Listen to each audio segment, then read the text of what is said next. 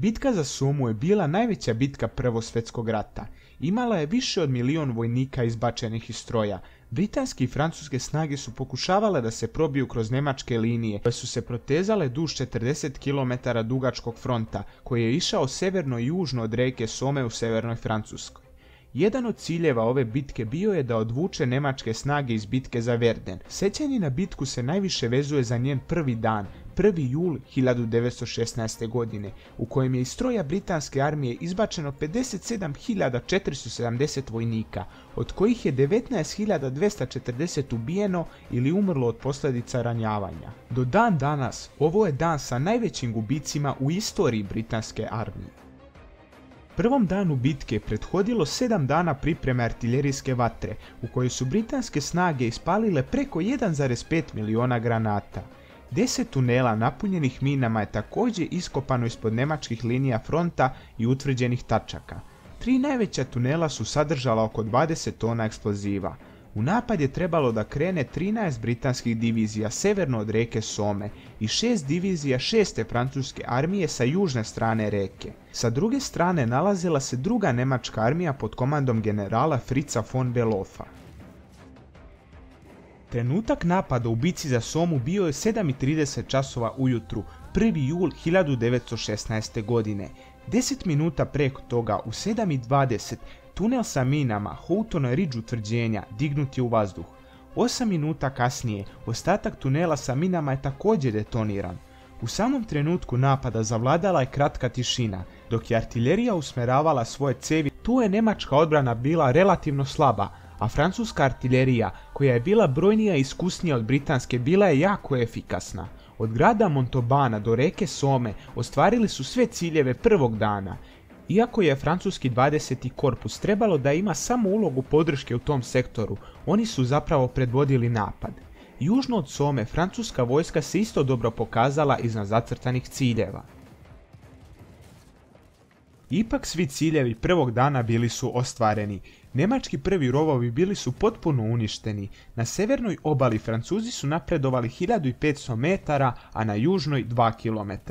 Ipak prvi dan bitke na Somi predstavljao neuspeh jer su Britanci imali 19.240 mrtvih, 35.493 ranjena, 2.152 nestala i 585 zarobljenih. Ukupan broj gubitaka je bio 57.470 vojnika, od čega je 19.240 mrtvih. Početni gubici posebno su bili veliki među oficirima, koji su još uvijek bili različito obučeni od vojnika, pa su ih Nemci lakše prepoznavali. Tačan broj nemačkih žrtava prvog dana bitke nije poznat, jer Nemci nisu prikazivali svoje gubitke u periodu od 10 dana. Procenjuje se da su imali 8000 žrtava i 2200 zarobljenika. Najveća razlika između britanskih i nemačkih gubitaka je bio u Ovijeru, gdje je osma britanska divizija imala 5121 žrtvu, dok su Nemci tu imali 280 žrtava. Glavni krivac za ovakav neuspeh je britanska artiljerija, koja nije bila sposobna da preseče nemačku bodljikavu žicu kako treba, ani da razvali nemačke ukopane položaje. Ovo je Nemcima dalo vremena da izađu iz svojih duboko ukopanih skloništa, da se rasporede po rovovima i da puškama i mitraljezima izmasakriraju Britance koji još nisu stigli do nemačkih robova.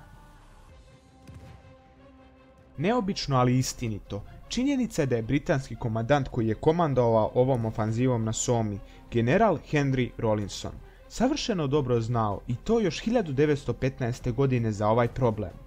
Naime, opisujući kako je bio izveden jedan britanski napad 1915. godine, Rollinson je u pismu 21. juna 1915. godine objasnio da naša artiljerijska priprema nije imala željeno dejstvo na neprijatelja, pa je na većem delu fronta neprijatelj uspio da uđe u svoje rovove i počne dejstvo prije nego što je britanska pešadija uspjela da stigne do njih. Međutim, kao što se toliko puta ponovilo tokom Prvog svjetskog rata, sposobnosti strane koja se branila da se duboko ukopaju da bi izbjegli dejstvo projektila, zatim i nepreciznost artiljerije, neiskustvo u organizovanju ofanziva i teškoće u tačnom koordinisanju pešadijskog napada s artiljerijskim dejstvom dovele su do propasti ove operacije.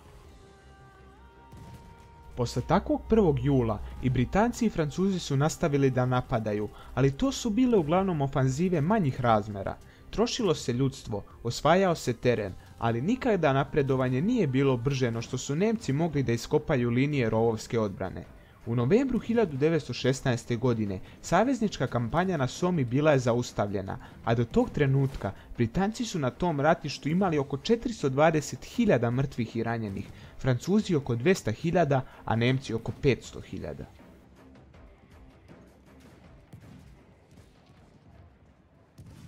Sada ćete čuti neka svedočenja učesnika bitke na Somi. Jurim dalje, već me bole noge, malo uzbrdo, malo nizbrdo, i moj talas se topi, ali stiže naš drugi talas koji se također topi i onda treći talas tapa se sa ostacima prvog i drugog.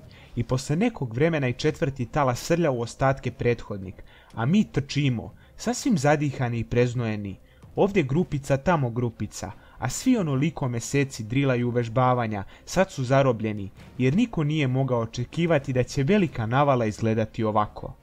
Svedočenje britanskog vojnika ukazuje kako izgledao taj pešadijski sistem napada u talasima i koliko je ljudi tada izginulo. Nemački učesnik u toj istoj bitci branioc Ovijeja, pripadnik 108. puka, pomenuti događaj je doživeo iz druge perspektive. 7.30 časova ujutru, uragan granata je prestao isto onako iznenada kao što je i počeo. Izvlačili smo sa sobom mitraljeze i brzo ih postavljali na položaje, a drugi sa stepeništa vukli su teške sanduke sa municijom do mitraljeza. I tek što smo postavili na položaj, vide smo iz britanskih rovova kako idu linije, široke linije, pa za njom još nekoliko takvih. Prva linija prostirala se toliko daleko u levu i desnu stranu da se činilo da joj nema kraja.